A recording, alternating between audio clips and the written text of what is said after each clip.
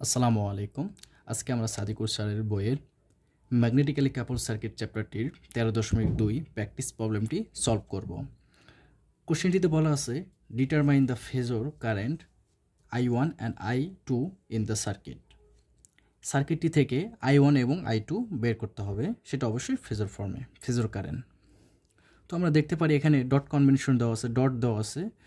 তো আমরা প্রথমেই সার্কিটটিতে কারেন্টগুলো কারেন্টের ডিরেকশনগুলো বের করে নেব। কারেন্ট যেহেতু এই লুপে এই দিকে এই দিকে যাচ্ছে, এই দিক থেকে শুরু করতেছে, তাহলে অবশ্যই এটা হবে আই ওয়ান এবং এই কারেন্টটি আই টু কারেন্টটি যেহেতু এই দিক থেকে ক্লকওয়াইজ ঘটতেছে সো আই টু হবে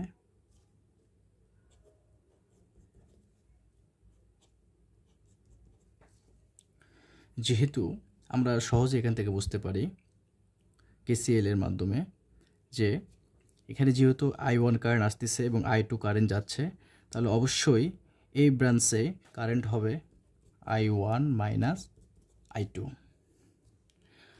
so কারেন্টের ডিরেকশনটা আমরা কারেন্টের ডিরেকশনটা আমরা বের করলাম। কারেন্টের কোন ব্রাঞ্চ দিয়ে কোন দিক থেকে কারেন্টে প্রভাব করবে এবং কোন কারেন্টে প্রভাব করবে সেটা আমরা বের করলাম। তো এখন এখন আমাদের অবশ্যই ডট কনভেনশনের প্রয়োগটা করতে হবে।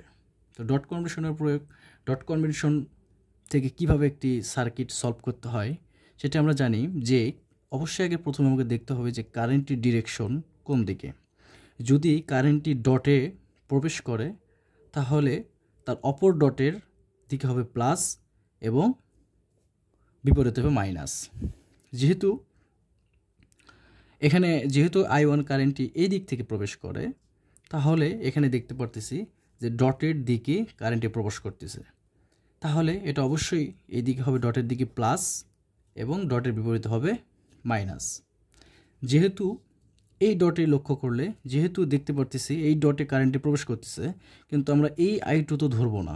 আমরা বের করে নিয়েছি আগেই যে এই ব্রাঞ্চে কারেন্ট ঢুকবে I one minus I two যেহেতু কারেন্ট এই দিক থেকে আসতেছে, তাহলে আমরা যেহেতু কারেন্টটি ডট থেকে বের হয়ে যাচ্ছে, তাহলে এটা ডটের দিকে হবে মাইনাস এবং ডটের অপর পাশে হবে প্লাস আমরা এটা কীভাবে বুঝলাম? অবশ্য এখানে একটা ডিপেন্ডেন্ট সোর্স আসবে, সেখানে আমরা এই প্লাস এবং মাইনাসটি ব্যবহার করব। তো আমরা এটা কীভাবে বুঝলাম যে প্লাস এবং মাইনাস অবশ্যই দেখতে হবে, আগে জানতে হবে যে কারেন্টটা ডটে প্রবেশ করতেছে নাকি ডট থেকে বের হয়ে যাচ্ছে। যেহেতু ডটে প্রবেশ করতেছে এবং এখন প্রশ্ন আসতেই পারে যে এই ডটে প্রবেশ করতেছে কারেন্ট, এই ডটে কারেন্ট বের হয়ে যাচ্ছে কারণ কি? আমাদের আগে প্রথমেই লক্ষ্য করতে হবে ডটটা এই ইন্ডাক্টরের কোন পাশে আছে? ইন্ডাক্টরের প্রথমে বা ইন্ডাক্টরের শেষে? যদি ইন্ডাক্টরের প্রথমে থাকে, এটা একটা সহজ উপায় আর কি যে ডট থেকে কীভাবে প্লাস মাইনাস নির্ধারণ করব। যদি ইন্ডাক্টরের ইন্ডাক্টরের ডটটা প্রথম থাকে, তাহলে বুঝব এটি এই ডটে কারেন্ট প্রবেশ করতেছে। এবং ইন্ডাক্টরের ভিতরে কারেন্ট প্রবেশ করতেছে, কিন্তু ডট ডটটা হচ্ছে ইন্ডাক্টরের শেষে। ইন্ডাক্ট এটা হচ্ছে ইন্ডাক্টরের শুরু। এটা হচ্ছে ইন্ডাক্টরের শেষ। যেহেতু কারেন্ট এই দিক দিয়ে প্রবেশ করতেছে, তাহলে অবশ্যই ডটটা যেহেতু এখানে, তাহলে অবশ্যই হবে এটা ডটের ডট থেকে কারেন্টটি বের হয়ে যাচ্ছে। সেই কারণে অপর ডট হবে ডটের দিকে মাইনাস এবং ডটের বিপরীত হবে প্লাস। তো এখান থেকে আমরা ডট থেকে কীভাবে প্লাস মাইনাস নির্ধারণ করে সেটা আমরা শিখতে পারলাম। তো এখন আমরা ডট থেকে ডটের ব্যবহারের পরে যে আমরা সার্কিটটা পাই, এই যে এইভাবে। সার্কিটটা যেহেতু এখানে মাইনাস ছিল মাইনাস এখানে প্লাস ছিল প্লাস এবং এখানে মাইনাস ছিল, এখানে প্লাস ছিল। সেমভাবে আমরা চিহ্নিত করে একটি সার্কিট অঙ্কন করব, এবং এই ডিপেন্ডেন্ট সোর্সের যে মানগুলো, সেটা কীভাবে হলো? আমাদের এখানে আমরা দেখতে পাচ্ছিলাম এখানে একটি মান দেওয়া ছিল magnetically inductance J three ohm J three ohm magnetically inductance so অবশ্যই এই ডিপেন্ডেন্ট সোর্সগুলোর মান হবে ম্যাগনেটিক্যালি ইন্ডাকট্যান্স দুইটার সেম এখানেও থ্রি জে এখানেও থ্রি জে কিন্তু এখানে হচ্ছে আই ওয়ান এখানে হচ্ছে I one minus I two যেহেতু আমরা জানি কি, এই সার্কিটটিতে যেহেতু এটি নির্ভর করতেছে এই লুপের কারেন্টের উপরে আই টু কারেন্টের উপরে। এবং এটি নির্ভর করতেছে এই এই এই লুপের কারেন্টের কারণে সে ম্যাগনেটিক্যালি ইফেক্ট পড়তেছে, এই কারণে সে আই ওয়ান আই ওয়ানের ইফেক্টের কারণেই সে হচ্ছে মাইনাস প্লাস এবং জে থ্রি হয়েছে। তো সেই কারণে আমরা বলতে পারি যে three j I one minus I two যেহেতু এখানে এখানে, যেহেতু এখানে এখানে হচ্ছে এর কারেন্ট হচ্ছে কত? এই ব্রাঞ্চের কারেন্ট হচ্ছে I one minus I two তো অবশ্যই এই ডিপেন্ডেন্ট সোর্সের three j I one minus I two হবে।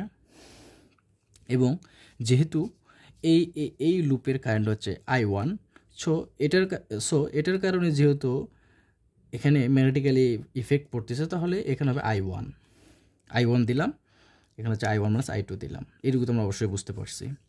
তো নেক্সট এখন এখান থেকে আমাদের আই ওয়ান এবং আই টু কারেন্টটা বের করতে হবে। সো প্রথমেই আমাকে কি করতে হবে? প্রথমেই আমাদের দেখতে হবে যে সরি সো আমরা যেখানে ছিলাম, যেহেতু এটি সার্কিটটিকে আমরা ডিপেন্ডেন্ট সোর্সের মাধ্যমে সার্কিটটি গঠন করলাম, তো এখানে থেকে আমার কীভাবে আই ওয়ান এবং আই টু বের করতে হবে সেটা দেখতে হবে। তো, এখানে আমরা মেশ করে বা কেভিএল সরি কেভিএল কেভিএল করে আমরা এখান থেকে আই ওয়ান এবং আই টু বের করতে পারি। সো প্রথমেই আমরা পুরো সার্কিটটিকে আমরা লুপ ওয়ান ধরলাম। লুপ ওয়ান ধরলাম। তো লুপ ওয়ান ধরলে যদি আমরা কেভিএল এখানে অ্যাপ্লাই করি, তাহলে কি অ্যাপ্লাইং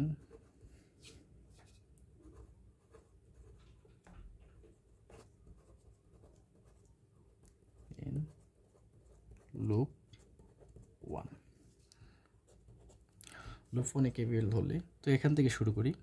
যেহেতু এর সিরিজ আছে, তাহলে অবশ্যই ফাইভ প্লাস জে টু তো এখানে কি কারেন্ট প্রবেশ করতেছে?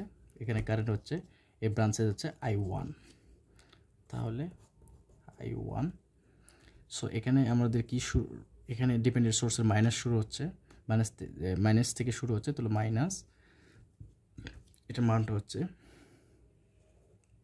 three j I one plus sorry I one minus I two I one minus I two so এখানে আবার আসতেছে কি? মাইনাস ফোর জে এখানে কি চলতেছে? আই টু ইকুয়াল টু কত?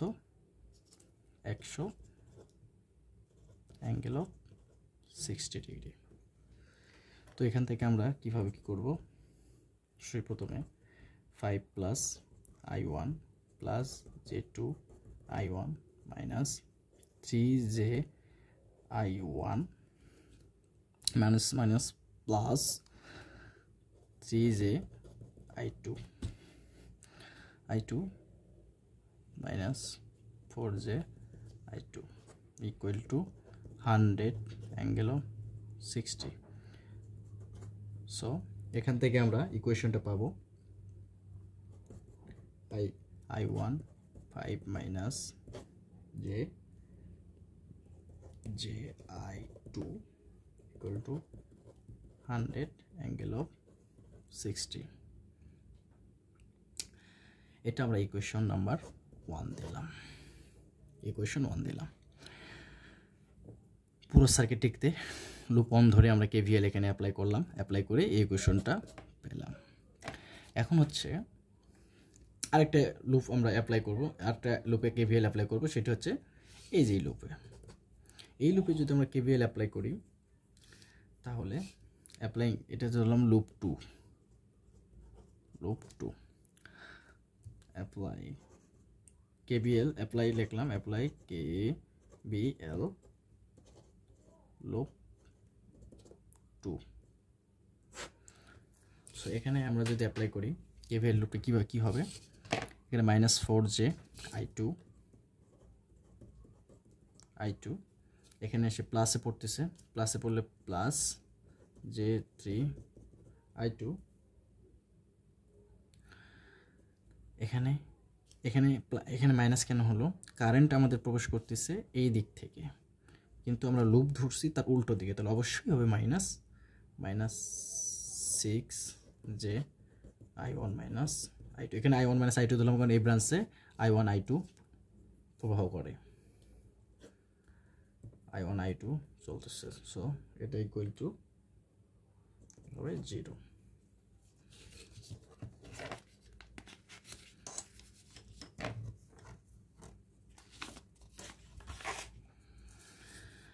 এখন আমরা অবশ্যই এখান থেকে পাবো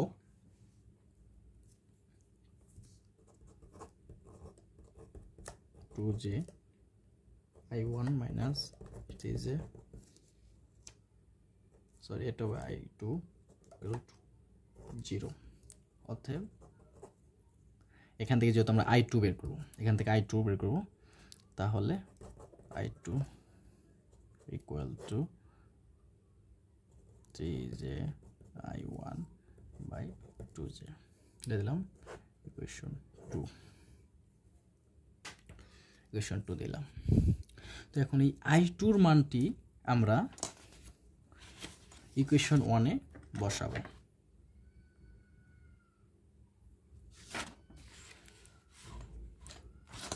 এই যে সরি ইকুয়েশন ওয়ানে বসাবো। এখন আই টুর মানটি আমরা ইকুয়েশন ওয়ানে এই জায়গাটায় বসাই দেবো। তাহলে এখান থেকে আমরা আই ওয়ানটা পাবো। তো আই টু যা, যখন আমরা ইকুয়েশনে বসাবো, তাহলে putting putting the value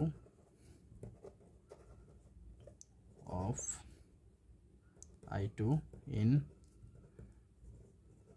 equation one এক নম্বর ইকুয়েশনে যখন আই টু বসাবো, তখন আমাদের আসবে I I one equal to I one equal to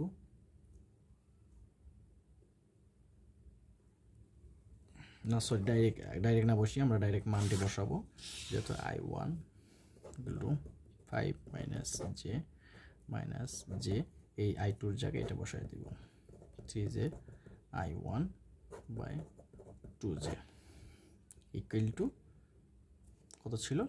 one hundred sixty তো এখান থেকে আমরা আই ওয়ান বের করব। তো এটাকে পাশে পার করে দিয়ে তাহলে আই ওয়ান সমান লিখতে পারি। Hundred degree plus j three j I one by two j আর নিচে থাকবে ফাইভ মাইনাস জে তাহলে এখান থেকে আমরা ক্যালকুলেশন করে পাবো।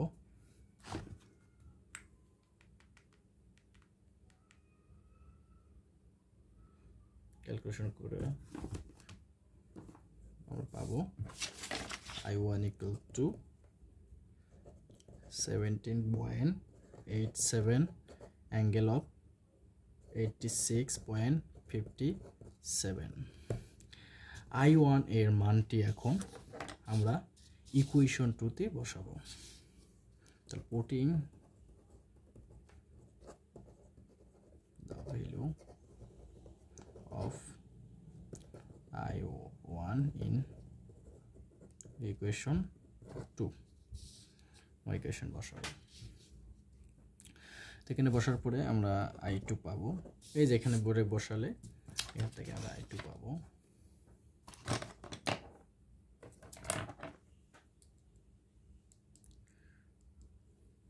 I two three j I one হচ্ছে seventeen point eight seven angle of eighty six so এখানে মান আসে যেহেতু I two equal to twenty six point eight three